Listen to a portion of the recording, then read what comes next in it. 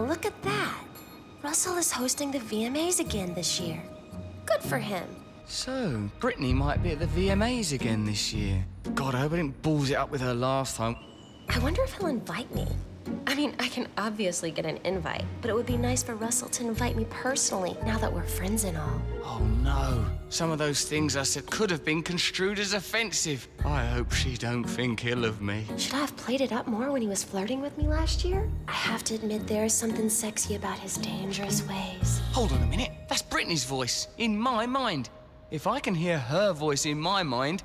Britney! This is the voice of your to Russell's hotel room and abandon yourself.